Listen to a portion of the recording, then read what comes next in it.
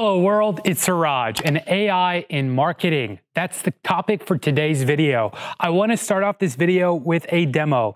And what this is, is an AI writer. What it does is it takes in as input a keyword. In my case, I'll say it's going to be wine. Okay, so I want to write an article about red wine. I'm going to send it to my email address. It's going to use an AI to then generate an article based on that. It might take a few minutes, it might take a few hours, but luckily I already have the output right here for us.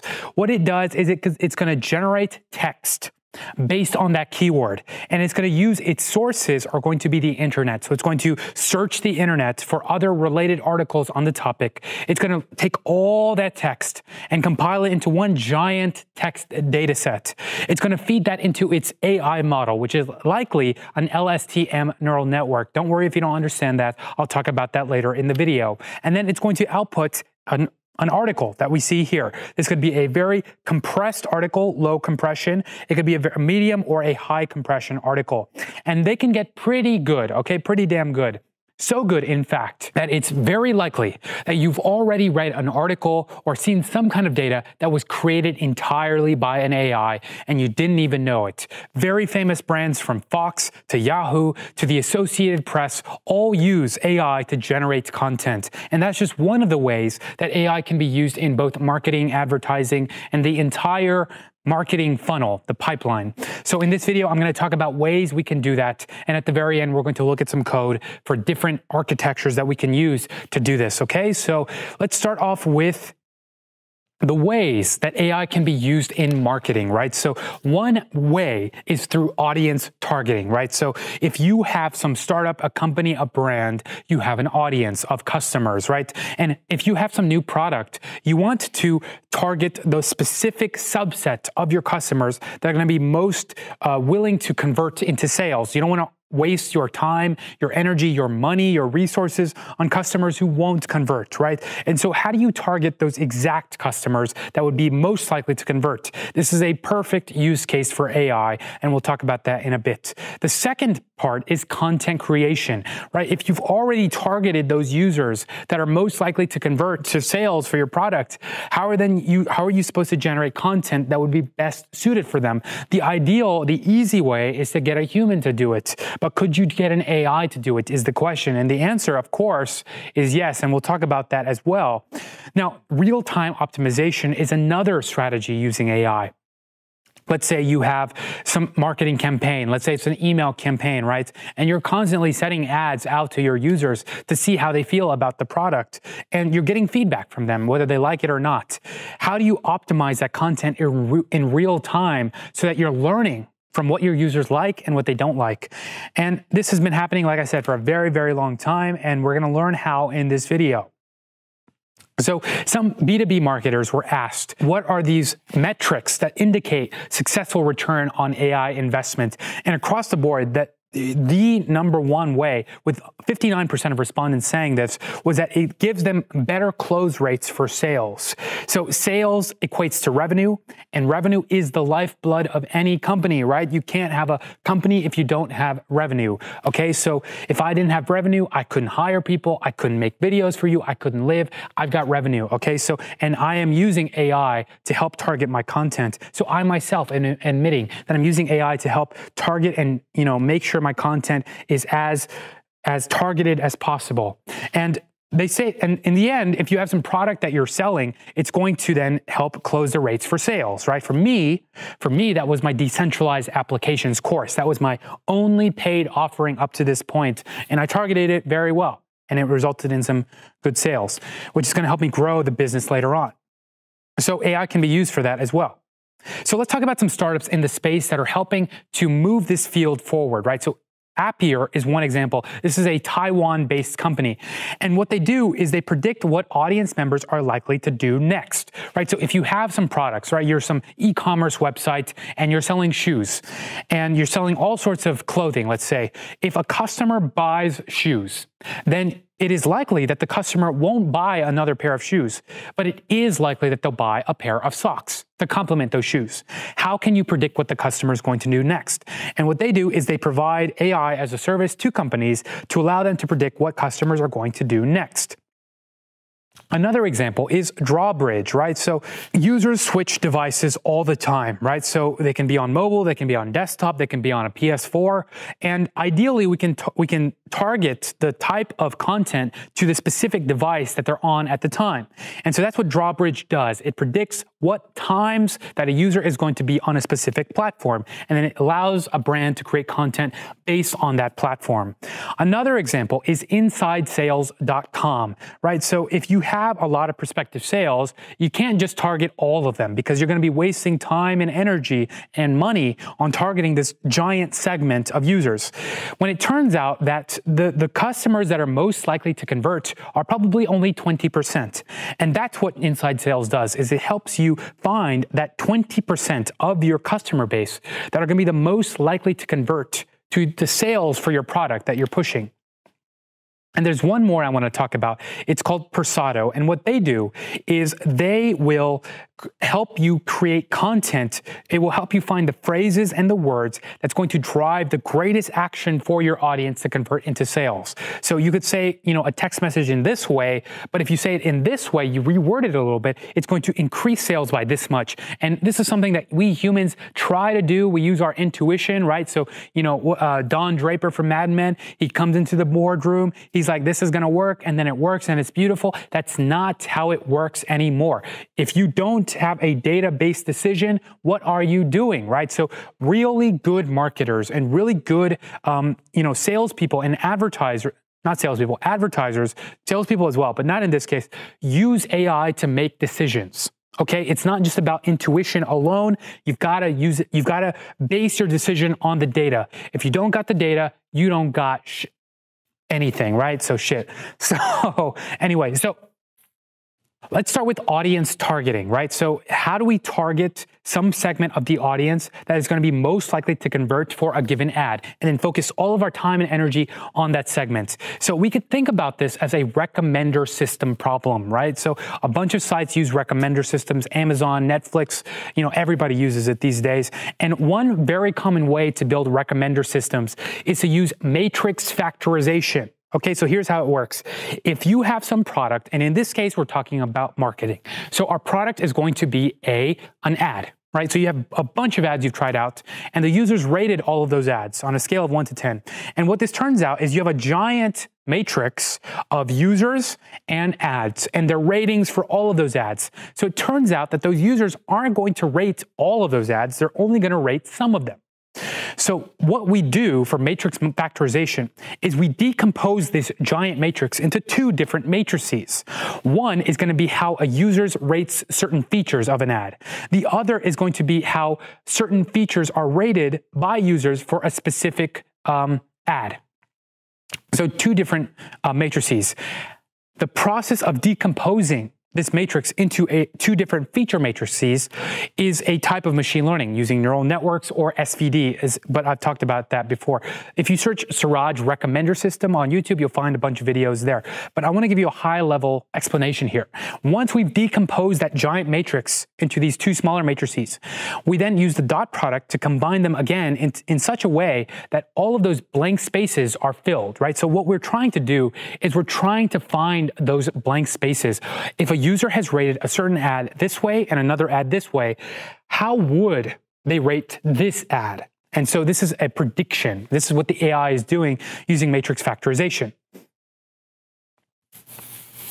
And so a popular library to do this has been LightFM. I've made a video on that before, where it takes, it generates user and item representations by functioning as a factorization machines and learning the linear embeddings for each feature. It then takes a dot product of each of these two representation vectors and gets a score. But with deep neural networks, we can improve on this by creating more meaningful representations, right? Deep neural networks outperform all other machine learning models when it comes to learning uh, features. Okay, so when it comes to learning features, deep neural nets blow everything else out of the water if we have enough data and computing power. And so TensorRec is a library that has a lot of developer activity, and I highly recommend it, built on top of TensorFlow that does this. It allows us to use TensorFlow to build deep neural networks for recommendation engines. This could be to recommend the optimal ads for your users, to recommend products, to recommend whatever it is. Now, ideally, if you're a brand, if you're a company, you've got some data set that shows how users feel about certain ads you've done in the past. And based on that, you can create new ads that a certain user would be likely to convert on. So you have to make sure you have that data. If you don't have that data, you're a startup, you want to build a service for brands, then just Google dataset um, for dataset ad campaign and then test it out uh, from there. But the idea is that going beyond matrix factorization, we can build neural networks to do this right? And so the process is very similar in that we are learning two matrices and then we're performing a dot product between those two matrices to create predicted scores for a given user. And then we just read off of that matrix to predict what a certain user would score a particular ad. And then if we have some threshold, like if a user scores, would score above an 8 out of 10 for this ad, then deploy this ad to them. If it's under that, then deploy this ad to them. Okay, so it's kind of like that. So there are four steps in this process process. The first one is to transform our input data into feature tensors for easy embedding, right? We have some input data that's a giant matrix, and then we use pandas, say, to then uh, convert that into a data frame object. And once we do that, we convert them to feature tensors using an algorithm like Word2Vec, which we could use in one line of code or several other ones. And then once we have that, we transform the user item feature tensors into user item representations. We transform that pair into a prediction and then transform that prediction and truth value into a loss value for a loss function, minimize that using gradient descent until we have reached a minima, minimal loss function value, and then we can use that model to predict what a certain user would like. So here is a very simple programmatic example of us using TensorRec to recommend users a specific type of data. This could be ads, it could be anything, right? So we build a model in a single line. That's all we imported. We generate some dummy data. We fit the model on that data. We predict uh, what the scores would be would be based on the given data, and then we used a percentage recall as a evaluation metric to see how good it's doing on testing data sets. That's it. TensorRec, check it out. Now, once we have targeted a specific subset of our users, that we, we know exactly, we've automated that part of the pipeline. Now we can use humans to create content that is perfectly well suited for them. Or we could automate the entire pipeline where it's not just us targeting the users using AI. We'll generate content for those users using AI. So the entire process is automated, right? So this video is content. This video could be automated. I mm, uh, who knows if I'm real or not, right? You have no idea unless you met me in real life. But even then, who knows? Maybe I was a hologram. Anyway, content creation, right? So LSTM networks are the way to do this for text. Okay, so if you search LSTM Network Siraj, you'll find a great video on me explaining how they work in depth. But I'll give you a high level um, overview right now. So Recurrent networks are really good at predicting sequences of, of text, right? So normal feed-forward networks, right? Normal feed-forward networks are not about predicting sequences. They're about predicting what an output would be for a given input. It learns the mapping. But when it comes to a sequence, what happened before matters to what happens now. What what the words that you had previously, like I like recording videos about AI because I love, you know, maybe it's TensorFlow, but predict what that word is.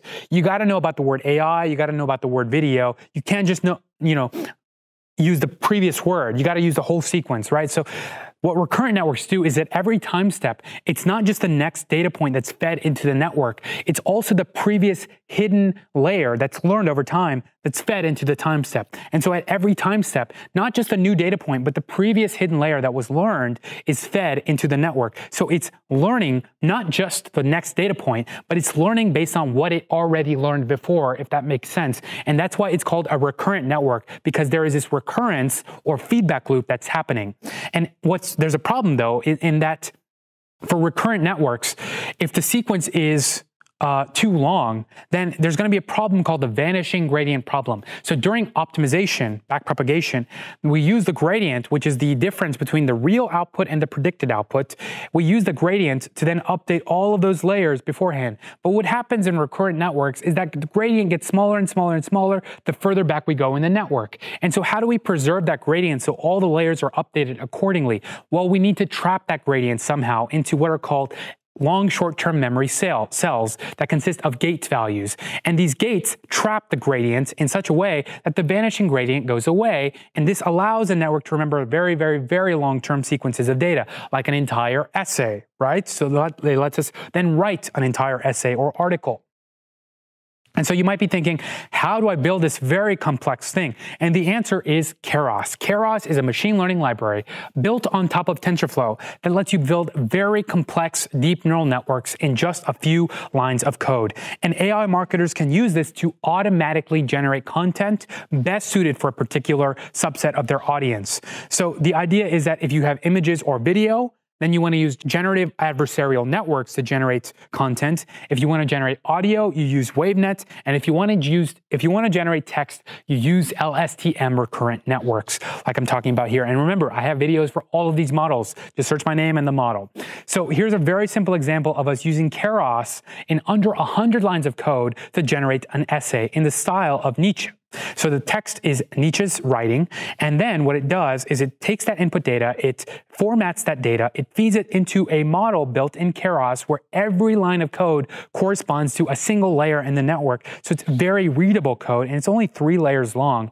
We optimize it using RMS prop, which is a type of gradient descent. Search which activation function should I use, Siraj on YouTube to find a great video on all the differences between all of the different activation functions out there. You know, I also have a video on which optimization function should you use as well. But anyway, uh, once we do that, we minimize it using a loss function, and that's it. And then what it's going to do is it's going to predict every word uh, that that Nietzsche would have said based on what it's learned in the past. And so we can use this for the entire pipeline, whether we're targeting users and then once we've targeted them, generating content for them. And we can do this for the entire marketing pipeline. There's, an, there's a huge, huge space for startups to come into this space and create services for big brands, for consumers to help them optimize, to save time, to save money, to save resources using the latest technologies. And look, even though I said that there are some startups out there that do this currently, there's a giant massive opportunity for new players in this space, and there's a huge need for it as well. So I hope you found this video useful. Please subscribe for more programming videos, and for now, I've got to be an AI, so thanks for watching.